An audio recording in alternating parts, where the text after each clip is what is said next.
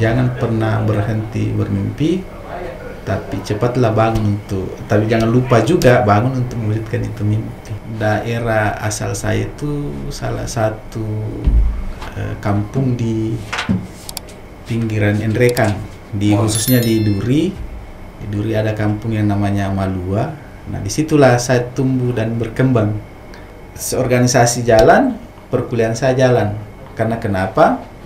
Saya menganggapnya begini perkuliahan itu adalah tanggung jawab kita bagi orang yang menguliakan kita Nah, organisasi ini adalah bekal kita setelah keluar dari kampus. Jadi memang harus berbarengan, tetapi tidak saling menghalangi. Kawan-kawan saya sama masih tetap sama yang dulu, Iya. kami yang dulu. Tidak ada pi satu kawan saya yang chat sayang dan saya tidak balas. Eh, dan mimpi saya kelak Bawaslu itu akan menjadi peradilan pemilu. Jadi dia tidak semata-mata sebagai pengawas, tetapi dia adalah memberikan keadilan bagi eh, rasa adil terhadap pemilu, pelaksanaan pemilu. Iya. Mimpi saya itu adalah Bawaslu bubar, Assalamualaikum warahmatullahi wabarakatuh. Kembali kembali lagi bersama saya Sabri di podcast Rakyat News.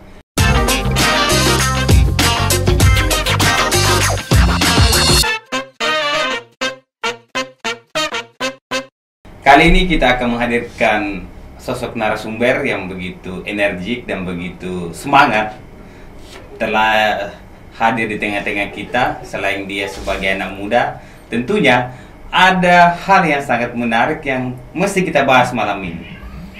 Pertama dia adalah eh, orang yang menurut saya sangat penuh prestasi. Kenapa? Karena saat ini dia menjabat sebuah apa se- apa saat ini menjabat sebagai ketua Bawaslu Kota Makassar dan menurut saya itu sangat luar biasa dan menjadi panglima di setiap pilkada. Nah, langsung saja kita eh, langsung sapa Kak, bagaimana Baik, kabar Kak? eh, Assalamualaikum warahmatullahi wabarakatuh. Iya. Alhamdulillah. Baik. Baik, baik. Kak, kita ini sangat luar biasa ini Kak. Orang melihat kita ini kalau orang sebut Bawaslu, orang berpikir bahwa itu adalah orang yang sangar, Hmm. besar dan tentunya punya umur tua. Tetapi saat ini kita diberitahukan bahwa ternyata anak muda juga bisa kak, karena umur kita 35 ini salah satu muda ya Iya. dan telah menahkodai Bawaslu Kota Makassar. Mungkin kita bincang-bincang sedikit. Siap, Siapa siap. sih kita ini? Kak? Iya, iya, iya. Hmm. Kalau sebenarnya kan eh, itu saya selalu mengistilahkan sama teman-teman jangan pernah bermimpi. Karena kenapa? Saya ambil di diri saya. Saya 10 tahun yang lalu saya tidak pernah eh, membayangkan bahwa saya akan seperti ini. Tetapi karena saya tetap berani bermimpi dan saya selalu bangun untuk mewujudkan mimpi. Kira-kira begitu karena makanya kan pada ja- jangan melihat saya sekarang. Kalau teman-teman melihat saya sekarang mungkin kalau saya menceritakan masa lalu saya pasti teman-teman akan berkata wah hiperbola sekali nih orang. Iya iya kak. tetapi eh, itulah ke itu itu itulah perjalanan hidup saya. Makanya biasa saya berpikir begini mungkin kalau nyaman kaya itu adalah cobaan mungkin cobaan itu yang saya tidak pernah alami Iya iya iya. iya. karena bagi saya saya justru berpikir ini persoalan masalah dan masalah apa lagi yang saya belum alami Iya iya kak. Masa- Nah, itulah kira-kira yang eh, eh, apa namanya saya katakan bahwa jangan pernah berhenti bermimpi, tapi cepatlah bangun untuk, tapi jangan lupa juga bangun untuk mewujudkan itu mimpi. Iya, jangan tidur terus kak. Di. Jangan tidur terus, Ah, iya, jangan iya. terlalu menikmati mimpi. Iya, bisa kak. Ah. Kak, orang bertanya, kita dari mana ini kak? Iya. Kenapa berani sekali kita ke Makassar dan pimpin Bawaslu Kota Makassar? Ya. Kalau eh, daerah asal saya itu salah satu eh, kampung di pinggiran Enrekang, di Oh. khususnya di Duri. Di Duri ada kampung yang namanya Malua. Nah, di situlah saya tumbuh dan berkembang. Nah, saya ceritakan sedikit soal kampung saya. Kampung saya itu kampung yang sangat religius. Iya. S- Kampung yang sangat religius dan banyak mengajarkan soal eh, tata krama dan saya pikir di kampung itulah yang sangat mewarnai kehidupan saya sekarang Iya. bicara soal apa adanya ya itulah kampung saya. Nah awalnya kan memang kita tidak pernah anak-anak kampung ini yang Iya, kayak anak kampung kayak anak ini kan. kampung anak kampung kami pernah satu ketika itu saya di kebun bersama dengan orang tua. Kebetulan kan ada pesawat yang lewat. Iya, iya, iya. Berarti anak kebun juga, pergi kebun juga, Kak. Saya ini tuh gembala kambing saya ini. Wah, iya, iya, luar biasa, gembala kambing. Iya, Nah, iya. ini pesawat lewat nih. Iya, iya, Kak. Jadi saya pikir, kapan saya bisa naik di atas sana? Apakah saya bisa naik seperti itu? Karena saya tahu saya orang tua saya belum pernah naik ke Iya, pesawat, naik itu. pesawat ya. Naik pesawat. Nah, mimpi-mimpi inilah yang selalu saya asah, selalu saya jaga bahwa saya harus wujudkan apa yang belum dilakukan oleh orang tua saya. Nah, itulah kemudian selalu yang memotivasi saya di samping misalnya eh, saya coba apa lagi yang saya Iya, belum rasa. Kemudian yang kedua, saya harus lebih baik dari pendahulu saya Iya. dalam artian yang lain ya. Mungkin kalau soal budi pekerti orang tua tidak mungkin kita mensaingi.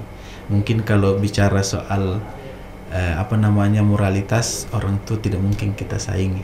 Tetapi yang eh, mungkin ada kelebihan, tetapi itu tidak terlepas dari manifestasi yang ditanamkan oleh orang tua. Sangat luar biasa, Kak. Yang saya kutip bahwa kita juga pernah di kebun, Iya. pernah gembala kambing juga ya. iya. Berarti kambing. berhadapan dengan tanah apa dan sebagainya. Iya. Itu hal biasa ya, kan? Ya, betul. Terus apa sih memotivasi kita uh, setelah mungkin pendidikan Hmm. ke Makassar kan? Iya. Padahal kampung kita jauh dari Makassar ini kita ke Makassar. Iya. Apa sih yang membuat kita mo- motivasinya Iya. Pendidikan? Jadi saya mau cerita begini. Di setelah saya selesai SMA, ya ada ini kan saya punya cita-cita pada saat itu memang mau jadi tentara, Iya kak, iya iya. mau, mau jadi tentara. Saya ikut seleksi di angkatan laut, alhamdulillah tidak lolos. Iya kak. Ikut lagi seleksi di angkatan darat, alhamdulillah juga tidak lolos. Iya iya. Ternyata saya berpikir, oh Tuhan menyiapkan tempat yang lain. Iya iya iya. iya. Tempat yang lain. Nah, pada saat saya mendaftar, eh, saya gagal dua, di dua tempat ini. Bapak saya yang kebetulan pensiun pada saat itu, minta untuk ya masuk keguruan. Iya kak. Iya. Tapi karena saya lihat eh, karakter saya yang kebetulan anak bungsu dari enam bersaudara, Iya iya kak. pertama sikap manjanya ada sikap eh, apa namanya temperamennya ada. Saya berpikir wah jangan sampai saya bunuh anaknya orang kalau saya jadi guru. Karena saya temperamen. Ah, temperamen. Singkat cerita orang tua saya ibu saya itu meninggal. Iya kak. Nah, di situ yang saya petik adalah eh mungkin ya mungkin ketika misalnya ibu saya itu masih ada, saya akan masih bawa karakter saya. Saya tidak akan dewasa. Iya iya. Saya akan saya tidak akan dewasa pada itu. Tapi Tuhan sudah menentukan lain.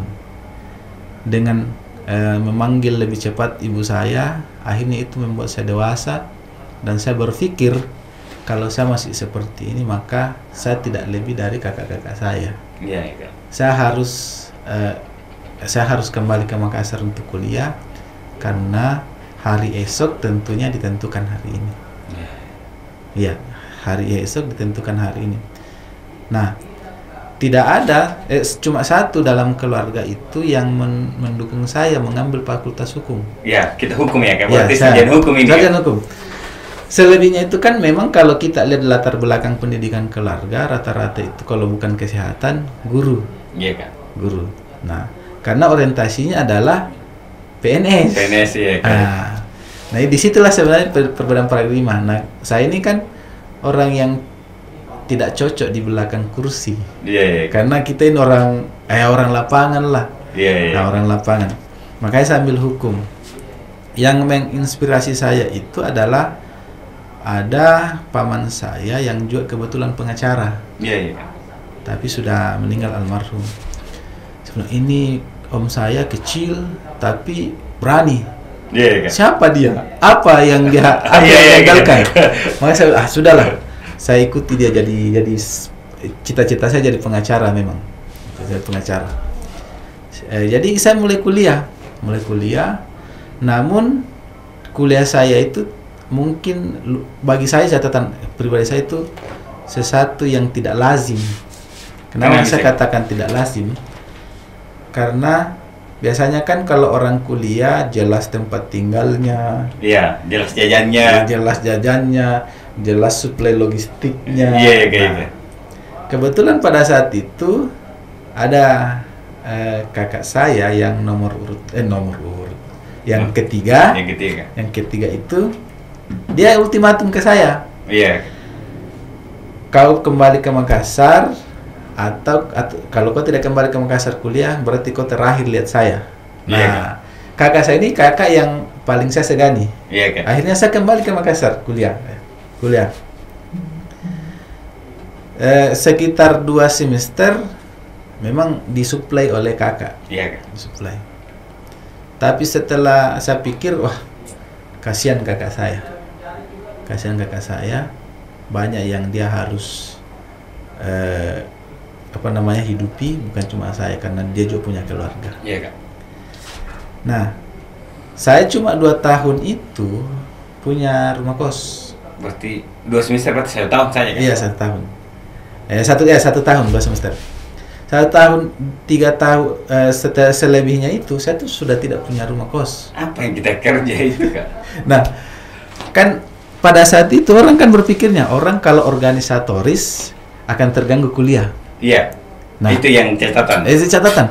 Nah, saya ini saya adalah orang yang suka ditantang. Iya, iya, iya. iya. semakin menantang orang itu saya masih termotivasi menjawab dengan sebuah eh, jawaban yang saya anggap bahwa eh, tidak begitu. Iya, iya. Kak. Contoh, betulkah orang berorganisasi itu membuat lama kuliah? Iya. Ternyata tidak, karena bagi saya saya juga organisatoris. Sa- satu, eh, satu tahun itu dua semester itu saya punya rumah kos selebihnya itu saya tidak punya rumah kos di mana malam di situ saya tidur Di sekret-sekret. sekret-sekret maka tapi alhamdulillah karena pada saat itu memang saya langsung terjun ke mas eh, Ke masyarakat. rakyat Iya, iya, Kak. jadi saya berbaur dan saya paham oh ternyata eh, dalam tanda kutip masih adalah kelebihannya kita orang miskin yang dari kampung ketika misalnya dibandingkan dengan yang memang tidak mampu di kota Iya, iya. Iya. Setidak-tidaknya kalau kita kurang di kampung, kita masih kita belum bingung soal apa yang akan kita makan besok. Masih ada kebun yang standby. Iya, iya. Tapi yang saya bayangkan ketika misalnya orang tidak mampu di kota, yang saya lihat dengan mata kepala saya sendiri bahwa memang tidak tidak enak itu tidak mampu di, di kota ketimbang di kampung. Iya, Kak. Nah, jadi saya sangat terbiasa dengan situasi yang sulit, situasi yang serba tidak ada. Kekurangan. Kekurangan. Katanya kita pernah juga apa polis-polis mobil ya, Kak? Ya. Jadi dulu itu di di di daerah Sukaria ada bengkel taksi di situ. Iya, iya, ini mahasiswa ini di Ngarmi sekarang, nah. Iya. Bengkel taksi di situ. Kalau saya sudah pulang kuliah, saya biasa singgah di situ bantu teman di ko mobil, Nah. di taksi. Mobil taksi. Itu setelah eh, dua dua tahun itu, Iya, Kak. dua tahun itu, saya ikut di situ. Jadi di situlah saya mulai me- merasakan bahwa eh, karena pada saat itu juga mungkin saya bilang ini akan saya motivasi saya kenapa saya tetap lakukan itu dan tidak ada gengsi. Saya berpikir begini, suatu saat kalau ada biografi buku untuk saya, ini akan jadi bab tersendiri. Iya. Ini akan jadi bab tersendiri. Mungkin di sisi lain eh, sesuatu yang sedih, tapi eh, yang saya mau ba- pesannya adalah tidak ada itu orang langsung jago tidak ada itu orang langsung jago semua orang dari nol proses ya melalui proses kalau kita melihat orang sekarang itu tidak terlepas dari masa lalunya orang misalnya naik gunung tidak mungkin langsung terbang ke gunung iya harus Iya. melalui anak tangga ini pesan dulu untuk mahasiswa ini Ya. kak yang yang katanya hari ini sebagai aktivis tapi lambat selesai apa pesan-pesan itu kak Jadi begini, yang mau saya katakan ke teman-teman aktivis ini mahasiswa bahwa eh, jangan terlena. Yang paling penting itu adalah manajemen waktu. Iya kan Saya begini, saya dulu pernah diperbantukan untuk mengorganisir buruh di Kima. iya Saya kuliah di 45. iya Saya kadang jalan kaki dari Kima. Yang penting saya kuliah. Saya, jadi prinsipnya mau eh, seorganisasi jalan, perkuliahan saya jalan. Karena kenapa? Saya menganggapnya begini. Perkuliahan itu adalah tanggung jawab kita bagi orang yang menguliakan kita. Nah, organisasi ini adalah bekal kita setelah keluar dari kampus. Jadi memang harus berbarengan, tetapi tidak saling menghalangi. nah dengar kini Nah. kita bawaslu bicara ini Tidak, tetap di berbarengan, jangan saling menghalangi. iya Nah, terus kak eh, kita lanjut lagi ke bawaslu hmm. Bagaimana sih proses kita bisa masuk ini kak Ya. menurut kita dengan kemampuan kita hari ini yang mungkin serba terbatas lah ya mungkin dari kampung yang kedua mungkin koneksi masih Iya, turun iya. karena kita saya anggap bahwa dari mas berbasis masyarakat Hmm. bagaimana proses-prosesnya itu kan mungkin Ya. kasih dikit Jadi kalau kalau kita cerita Bawaslu, eh, saya akui bahwa mungkin teman-teman ah kok bisa kan begitu. nah itu dia Jadi yang saya mau katakan adalah itu tadi jangan berhenti bermimpi. Kalau orang saya jadi saya begini, saya sela, saya pernah tulis di, di status saya di media sosial bahwa eh, jangan jangan tidur sebelum mereka tidur, jangan eh, segeralah bangun sebelum mereka bangun, karena kita tidak dilahirkan dan tidak start di titik yang sama. Maksudnya adalah kalau memang kita sudah tahu bahwa dia punya kelebihan lain, bukan berarti kita takut dengan kelebihannya. Karena tentunya Tuhan itu sudah memberikan kita kelebihan dan kekurangan masing-masing. Eksplorasi kelebihanmu untuk menutupi kekuranganmu.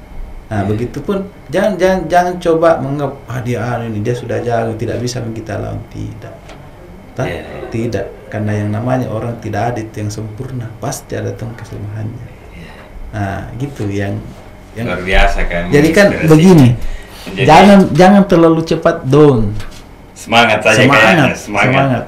Kalau orang Makassar bilang kan Sirina pace. iya eh bisa aja itu pak sekelas kalau kita lihat sebagai marwahnya sebagai Hmm. ketua KPU Makassar ini Makassar menurut saya ini adalah ukur Indonesia Timur Hmm. tapi kalau kita pelajari ke belakang dia juga pernah mengemela kambing Nah, iya. pernah dia juga pergi di kebun Hmm. dan ternyata dengan Iya. perjuangan yang kuat sehingga hari ini dapat dengan jabatan yang seperti Iya. ini terus Ah. kak apa sih suka duka yang kita alami kak Hmm. mungkin orang hanya lihat kita dari sisi yang wah sudah enak nih Hmm. Eh, Sadi sudah nyaman di kursinya Hmm. mungkin boleh diceritakan suka dan dukanya ke kita tuh. Kalau sukanya akhirnya banyak teman. iya iya banyak teman eh, ya bisa maksudnya muncul Tommy juga nama tak di kalau kita klik Google muncul kita Yeah. Tetapi eh, dukanya itu adalah sangat terbatas pergaulan. Iya kak iya kak. Ya sangat terbatas pergaulan karena kita banyak hal-hal yang harus kita jaga. Ah, harus kita jaga. Wah, ketemu dengan nilai lah apa dan segala macam. Karena ini kan bicara etika etika etika lembaga etika lembaga. Mungkin ada yang disampaikan ke teman-teman kira kesombongnya ini ketua KPU Eh, mungkin kita jelaskan ke dulu tadi Ya. sini kak. Jadi sebenarnya bukan sombong tapi ini kan kita menjaga. Iya nah yang mau saya tegaskan adalah kawan-kawan saya sama masih tetap sama yang dulu. Iya. Sama aja yang dulu.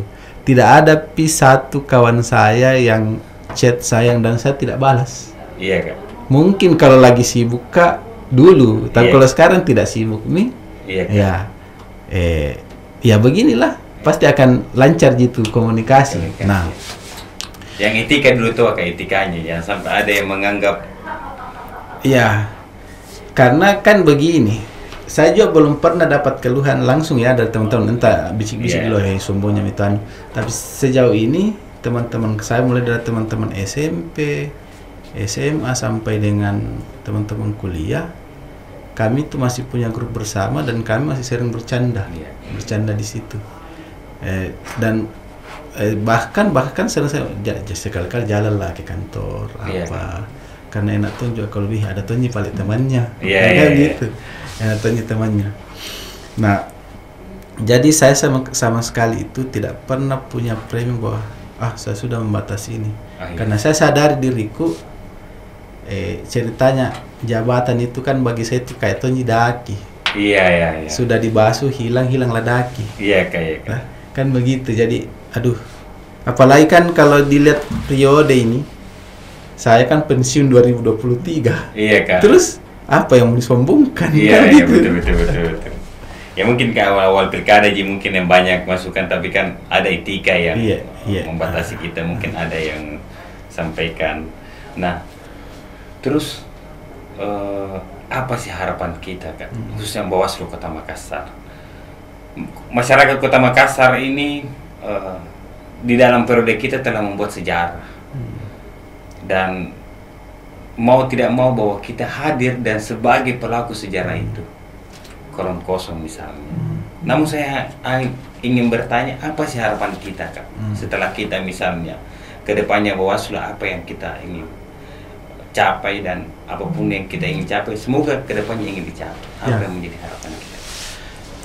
Eh, saya sudah melewati pilkada dua kali pemilu satu kali dan saya pikir tidak ada kontestans konstentasi lain di luar dari itu kalau kita bicara Indonesia. Nah, yang saya mau sampaikan bahwa atau harapan saya, saya titipkan untuk teman-teman selanjutnya. Iya, iya. Teman-teman selanjutnya bahwa eh, jaga ma- marwah organisasi, jaga marwah Bawaslu karena pada dasarnya kalau bukan kita yang jaga, lembaga itu tidak akan dihargai oleh orang lain.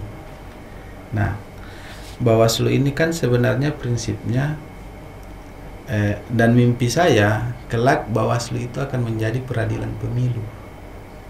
Jadi dia tidak semata-mata sebagai pengawas, tetapi dia adalah memberikan keadilan bagi eh, rasa adil terhadap pemilu, pelaksanaan pemilu. Karena kalau misalnya kita masih me- me- bersandar bahwa Bawaslu itu adalah lembaga pengawas, eh, terus edukasi memberikan mence- atau memberikan pemahaman terhadap masyarakat soal eh, pengawasan partisipatif atau Iya. bagaimana publik mengawasi proses itu itu kita gagal makanya saya saya, saya selalu saya bilang saya teman-teman saya itu pernah bermimpi bahwa Bawaslu itu akan bubar ketika misalnya semua masyarakat itu sudah paham soal hak dan kewajiban dalam tiap kontestasi. Dan itu bagi saya itu tidak mustahil. Karena kenapa? Untuk apa lagi pengawas pemilu kalau kita sudah tahu politik uang itu dilarang Iya. eh, eh, me- apa politisasi sara itu dilarang untuk apa lagi Bawaslu? Nah kan begitu. Makanya saya bilang mimpi saya itu Bawaslu bubar. Mimpi saya itu adalah Bawaslu bubar masyarakat tahu soal hak dan kewajiban dalam setiap kontestasi Wah, ngeri juga nih kalau Bawaslu bubar. Nah, Iya. terima kasih eh, sahabat Rakyat News. Ini adalah episode pertama bersama eh, Ketua Bawaslu Kota Makassar. Tentunya kami akan melahirkan episode-episode selanjutnya. Jangan lupa untuk eh, like and share. Kita punya podcast. Insya Allah kita akan menghadirkan konten-konten yang membuat membuat inspirasi untuk semua. Assalamualaikum warahmatullahi wabarakatuh.